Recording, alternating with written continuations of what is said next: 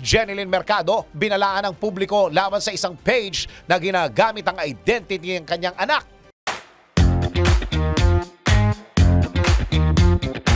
Para sa aking balitang showbiz, naglabas ng pahayag ang management company ni Jeneline Mercado, ang Aguila Entertainment upang balaan ang publiko sa paggamit ng identity na anak na aktres at ni Dennis Trillo. Sa Facebook page ng Aguila Entertainment, ipinost ito ang screenshot ng unofficial ngunit verified na Facebook page ng anak ni na Jeneline at Dennis na si Dailan. Ang nasabing page ay mayroon ng 64,000 followers at may option para mag-subscribe dito para sa exclusive content na nagkakahalaga ng 55 pesos per month. Sa caption ng post ng Aguila Entertainment, binalaan ito ang publiko na hindi ang parents ni Dayla na sina Jeneline at Dennis o kaya'y ang Aguila Entertainment na siyang umahawak sa karina mag-asawa ang umahawak sa nasabing Facebook page. Kinukundina umano nila ang malinaw na kaso ng identity theft o pagnanakaw na identity kasabay ng panawagan nito na i-report ang nasabing page habang pinag-iisipan daw nila ang legal options. Halata naman ang galit sa aktres nang sabihin nito na mali na nakawin na nasabing page